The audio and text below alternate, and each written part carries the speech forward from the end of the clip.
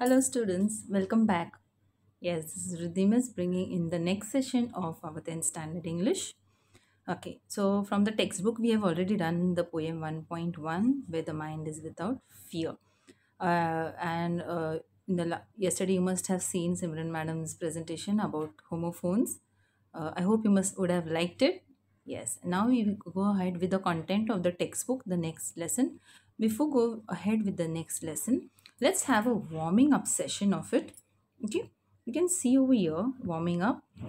It's given read the following incident.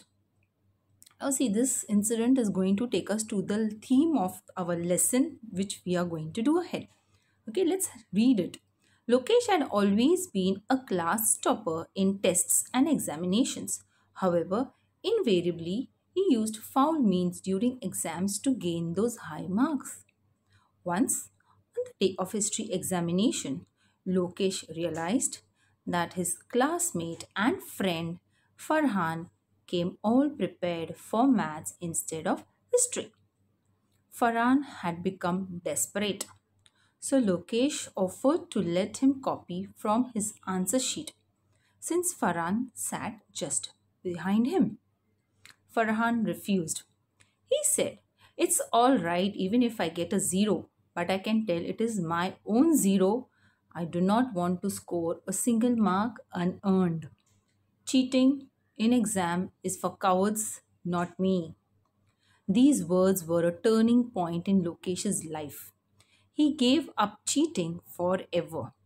He worked hard for what he desired and never ever used false measures to acquire anything. So you get what the lesson is, what this passage is about. Yes, it is about two friends, uh, Lokesh and Farhan, whereby Lokesh is a class topper, but he only knows that how he has become a class topper by using unfair means. Okay, means he was cheating during his exams. Whereas on the other hand, he has his friend Farhan. So on the day of the paper, of history paper, he comes prepared for maths and Farhan is desperate. So looking at Farhan's uh, condition, Lokesh helps, help, tries to help him by telling him to copy from his answer sheet. What Farhan tells him? Yes, that I would it would be uh, not good for him to copy and pass the exam on the other hand, he opted out for be, for failing, getting a zero instead of earning a single mark uh, without any efforts. That was the view of Farhan. These words were a sort of inspiration for Lokesh, and it became a turning point in Lokesh's life. He gave up cheating, and he would worked hard for what he desired.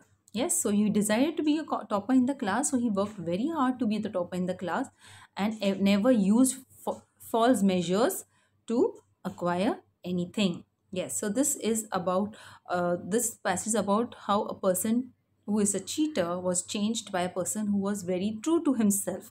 Okay, so on this basis only our next lesson is going to be there. Now you see those activities after this passage over here in the given story which words or phrases can be replaced by the following ones. This can be your homework for you.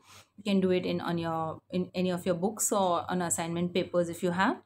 And the next question is summarize the incident in 6 to 8 lines making Lokesh the narrator. So we will be having writing skills summary writing. So we will look we will see what we will be doing about this later on. Now before we continue with the lesson, begin with the lesson, we have some sentences over here. Yes, frame sentences, you all know. So, first word flattery. Flattery usually works like a charm with him. What do you mean by flattery? Flattery means it is an insincere praise. You praise somebody just for sake and not uh, you know you don't find find that person to be praised but still out of uh, some personal benefit you tend to uh, praise that person. So that means flattery. So flattery usually works like a charm with him. Unlined. Her complexion was unlined and unblemished, means without much effort. And means without much efforts. Next we have by fits and starts. My slimming attempts tend to go in fits and starts, and fits and starts means at irregular intervals. You know, slowly uh, it uh, and at irregular intervals. By my fits and starts. So her, my slimming attempts tend to go in fits and starts. Spirits rose. That's the fourth, fourth one which we are doing. Her spirits rose on hearing the news of the return of her dad. Spirits rose means she, she was, uh, mm, what you can say, very much into high spirits. She was um, very much enthusiastic to meet her dad. So her spirits rose on hearing the news of the return of her dad. So these are a few these uh, words which we have taken. See, two words are there, and I have taken two phrases. So don't forget uh, why I have taken two phrases over here because in your exam you can get in the language study part to frame a sentence using the given phrase so i've taken those two phrases before we go ahead look at this picture anyone guessing? Yes. Yes it is. Ruskin bond who is famous for writing stories for children. Yeah, yes very uh, so many books for children he has written. So the next story which you are going to learn is a part of one of his book. And one which we are going to do is the thief's story. It is for class 10 what is there in the thief's story? Let's see. But before that we'll have an introduction of the author ruskin bond he was born in 1934 who is an indian author of british descent he lives with his adopted family in Landour in Mussoorie, India. The Indian Council for Child Education has recognized his role in the growth of children's literature in India. So you can see how much work he has done for uh, children to improve their language. He got the Sahitya Akademi Award in 1992 for Our Trees Still Grow in Dehra. Dehra is like short form used for Dehradun for his published work in English. He was awarded the Padma Shri in 1999 and Padma Bhushan in 2014. Just la- six years back, he got this Padma Bhushan. So, two national awards he has got Padma Shri and Padma Bhushan. So, you can understand the level of writing of this author, this great author, which we up we should be proud to have in our country. Moving ahead, we have our lesson over here. Yeah, I will read it. I was still a thief when I met Anil, and though only 15, I was an experienced and fairly successful hand. Anil was watching a wrestling match when I approached him. He was about 25, a tall, lean fellow, and he looked easygoing, kind, and simple enough for my purpose. I hadn't had much luck of late and thought I might be able to get into the young man's confidence. You look a bit of a wrestler yourself, I said. A little flattery helps in making friends. So do you. He replied, which put me off for a moment because at that time I was rather thin. Well, I said modestly, I do wrestle a bit. What's your name? Hari Singh. I lied. I took a new name every month. That kept me ahead of the police and my former employers. After this introduction, Anil talked about the well oiled wrestlers who were grunting, lifting, and throwing each other about. I didn't have much to say. Anil walked away. I followed casually. Hello again, he said. I gave him my most appealing smile. I want to work for you, I said, but I can't pay you. I thought that over for a minute. Perhaps I had misjudged my man. Then the next. Okay. I asked, Can you feed me? Can you cook? I can cook. I lied again. See, he's lying again. First, he lied for about his name, and now he's lying that he can cook. If you can cook, then maybe I can feed you. He took me to his room over the Jumna's sweet shop and told me I could sleep over the on the balcony. But the meal I cooked that night must have been terrible because Anil gave it to a stray dog and told me to be off. But I just hung around, smiling in my most appealing way, and he couldn't help laughing. Later, he patted me on the head and said, Never mind. He'd teach me to go. He also taught me to write my name and said he would soon teach me to write the whole sentences and to write add numbers. I was grateful. I knew that once I could write like an educated man, there would be no limit to what I could achieve. It was quite pleasant working for Anil. I made the tea in the morning and then would take my time buying the day's supplies, usually making a profit of about a rupee a day. I think he knew I made a little money this way, but he did not seem to mind. Next, Anil made money by fits and starts. See, this is the word which we have taken in the frame sentences. He would borrow one week, lend the next. He kept worrying about his next check. But as soon as it arrived, he would go out and celebrate. It seems he wrote for magazines, a cure way to make a living. One evening, he came home with a small bundle of notes, saying he had just sold a book to a publisher. At night, I saw him tuck the money under the mattress. I had been working for Anil for almost a month, and apart from cheating on the shopping, had not done anything in my line of work. In his line of work means here he was cheat he was a robber, so he for almost a month he has not cheated. I had every opportunity for doing so. Anil had given me a key to the door, and I could come and go as I pleased. He was the most trusting person I had ever met. And that is why it was so difficult to rob him. It's easy to rob a greedy man because he can afford to be robbed. But it's difficult to rob a careless man. Sometimes he doesn't even notice he's been robbed, and that takes all the pleasure out of the work. Well, it's time I did some real work. I told myself, I'm out of practice, and if I don't take the money, he'll only waste on his friends. After all, he doesn't even pay me. Anil was asleep. A beam of moonlight stepped over the balcony and fell on the bed. I sat up on the floor, considering the situation. If I took the money, I could catch the 10:30 express to Lucknow. Slipping out of the blanket, I crept out up to the bed. Anil was sleeping peacefully. His face was clear and unlined. Even I had more marks on my face, though mine were mostly scars. My hand slid under the mattress, searching for the notes. When I found them, I drew them out without a sound. Anil sighed in his sleep and turned on his side towards me. I was startled and quickly crawled out of the room. When I was on the road, I began to run. I had the notes at my waist, held there by the string of my pajamas. I slowed down to a walk and counted the notes 600 rupees in 50s. I could live like an oil rich Arab for a week or two.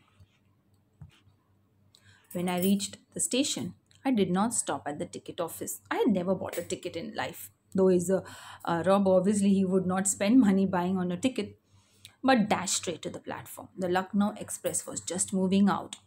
The train had still to pick up speed, and I should have been able to jump into one of the carriages.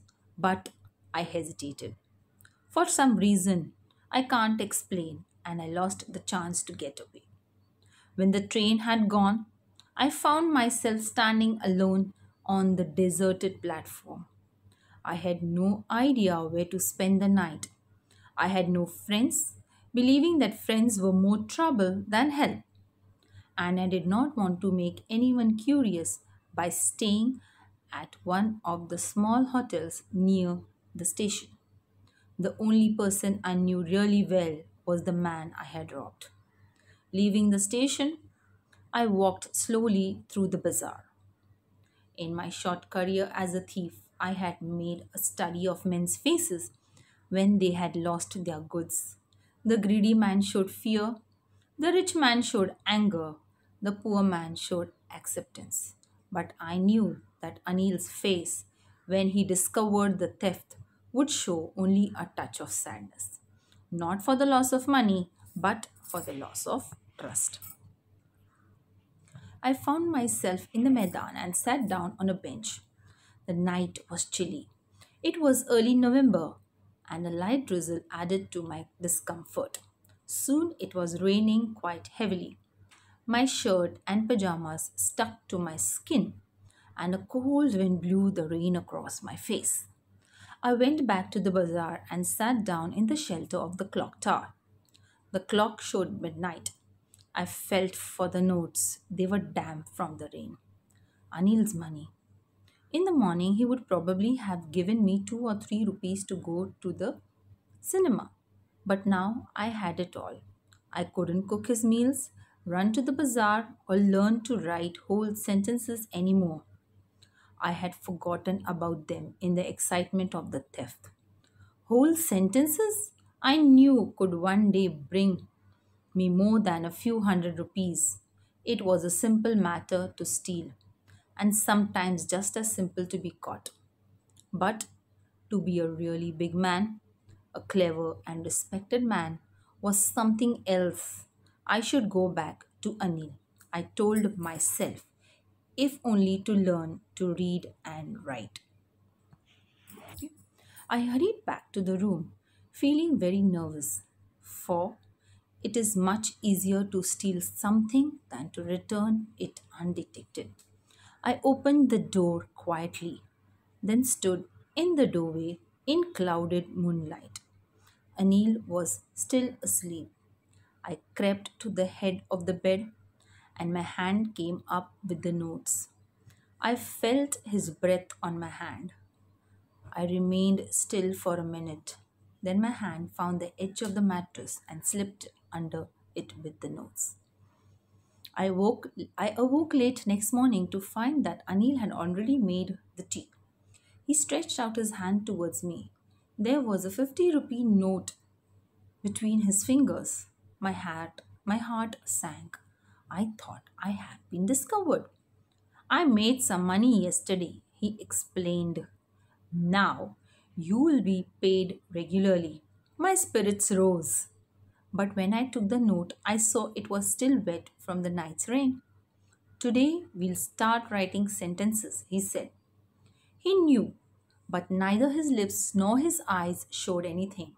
I smiled at Anil in my most appealing way, and the smile came by itself without any effort. Okay, by Ruskin Bond. Such a beautiful story written by Ruskin Bond. Now, reading at the story, children, you can try to bring about the theme which we read in the beginning, the warming up part of the for the lesson, and this story that Lokesh. Remember Lokesh and Farhan?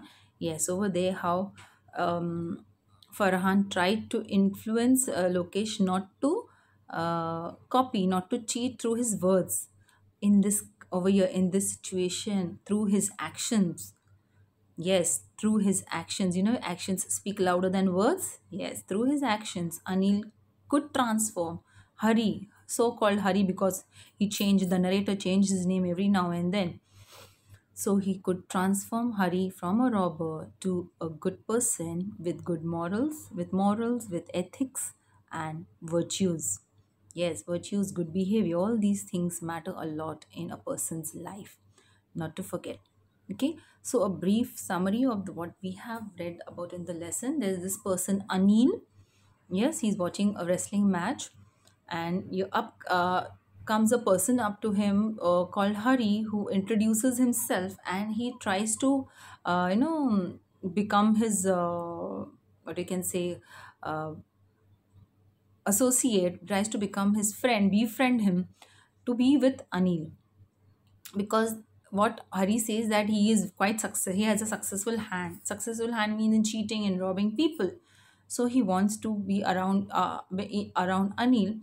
So he uh, goes behind Anil. Anil asks, asks him, "Can you cook?" He said, "Yes, I can. cook. I can cook." Again, he's lying. In initially, he told lies about his uh, name.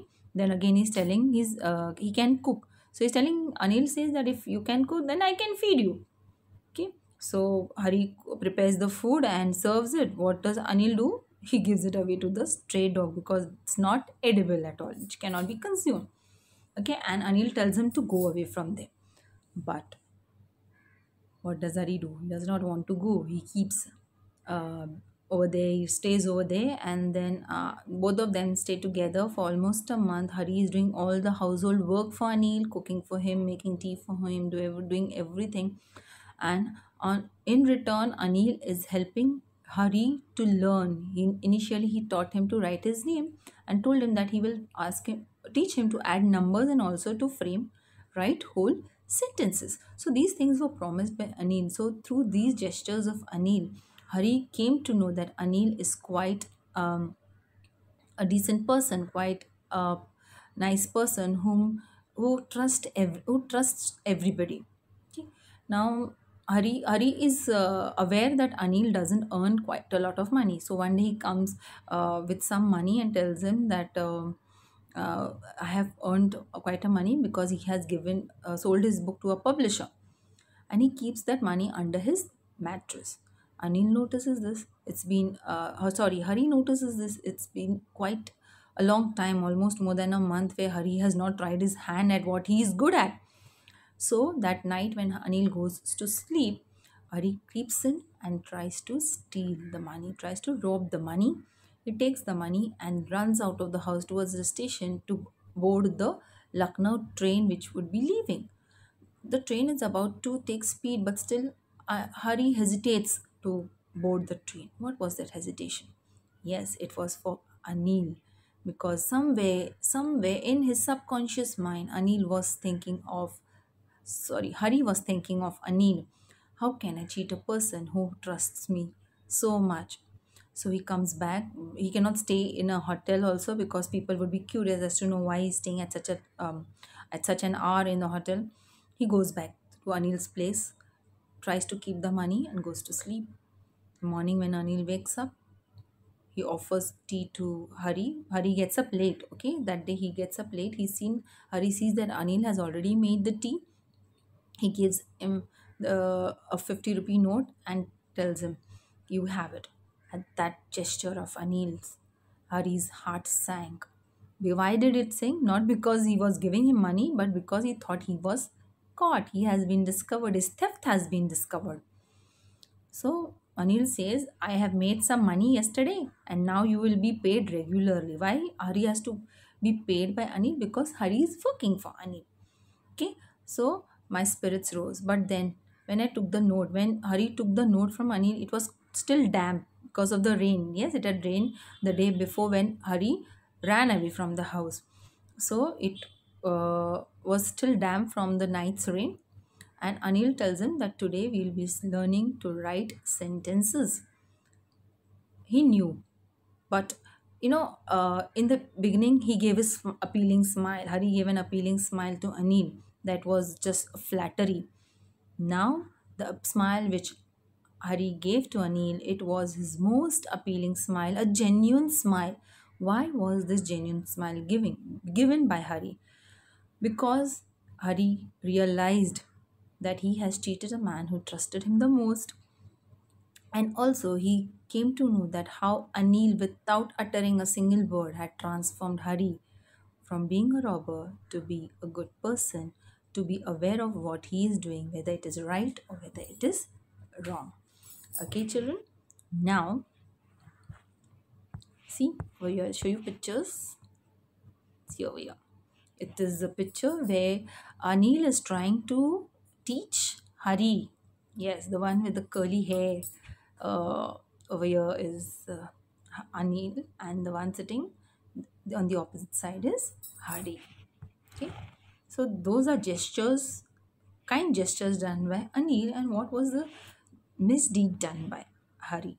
Here, see, you can see Anil is sleeping over here, and Hari is trying to steal the money which Anil has kept under his mattress. Yes, so he's trying to steal a person who has helped him in all ways, all possible ways. Yes, children. So through this lesson, we can we come to know as to how important our life, uh, in our life, we ha- it is to be uh, true to our nature, to be uh, genuine, to be uh, uh, you know, no people should pin point at you at your wrong deeds. You have to maintain yourself in a society. Okay, now um, going through all these uh, um, all this uh, the, the lesson which we read right now i would expect you all when you get see all these blue things over here the margins which are given Yes, there are some questions and some words are highlighted in the uh, passages. So those meanings are given over there in the blue boxes over there. So you can go through those meanings. In the meanwhile, we will see a short video about the sum a short video about the summary of this lesson. Okay, here we have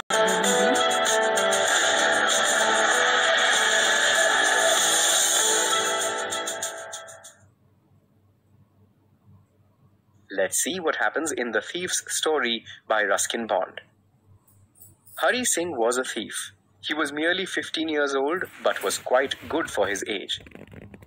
In fact, Hari Singh wasn't even his real name. He used a different name every month to avoid getting caught. The first time Hari met Anil was at a wrestling match. Anil looked like the perfect mark simple, kind, and easygoing. Hari approached Anil and complimented him on his looks. He told Anil he wanted to work for him. Anil replied that he couldn't pay him. So, Hari said that he would work for food and even lied that he could cook. So, Anil agreed and took him in. That night, Hari made dinner. It was so bad that Anil gave it to some stray dogs and told Hari to leave. However, Hari just stood and kept smiling at Anil. Anil relented. He let Hari stay and taught him how to cook. He also taught Hari how to write his name and promised that one day Hari would learn how to write whole sentences and add numbers. Hari was glad. With some education, he could be better at what he did. Hari found it easy to work for Anil. Every day, he would make tea in the morning. Then he would go to the market to buy supplies. He always made a rupee's profit every time. Hari also learned quite a bit about Anil. Anil was a writer and did not make steady income. When he did, he would go out and celebrate. When he didn't, he would borrow and worry about his next paycheck. One day, Anil came home flush with several banknotes. He had just sold a book to a publisher. He safely hid the money under his mattress. It had been some time since Hari stole from someone. He made up his mind to steal the money. That night, he crept up to Anil's bed and carefully extracted the money. Then he ran. He ran until he came to a bazaar by the station. There he slowed down and counted the money. There were 600 rupees in the bundle. Hari thought he would live like a king for the next week or two. Thinking this, he came to the station. The Lucknow Express was just leaving the platform. If he ran, he could easily jump into one of the compartments. But something stopped him. Hari stood still and watched as the train left. He was alone now and had nowhere to go. He thought about Anil and how his house was the one place he could go back to. So, having nowhere to go, Hari started walking aimlessly and came to a Maidan. There he sat on a bench thinking about Anil's reaction. Anil, he knew, would feel sad, not at the loss of money, but at the loss of trust. It started to rain. Soaked, Hari made his way back to the bazaar. He took out the notes. Then he thought about his time at Anil's. He remembered that Anil had promised to teach him to write whole sentences. One day he thought knowing whole sentences would bring him even more than thieving could. After all, stealing was easy, but becoming a clever and well respected man, that was better. So Hari went back to Anil and put the money back under the mattress. Next day, when he woke up, Anil was already making tea. Anil gave him a 50 rupee note as part of his wages. Then he declared that they were going to learn whole sentences. Hari realized that Anil knew what had happened, but Anil didn't say anything. Moved, Hari gave Anil a smile, a genuine, heartfelt smile. Okay, so that was the short video about our lesson, The Thief's Story. So today we have read the lesson, we have understood what the summary of the story is. In the second part of this lesson, we will see those some questions which are there in those blue boxes and some activity for you to do as well. okay? Along with uh, uh, this video you will be getting a link where you have some assignment to do. You have to do it online submit it over there and uh, do well. Thank you children. Good luck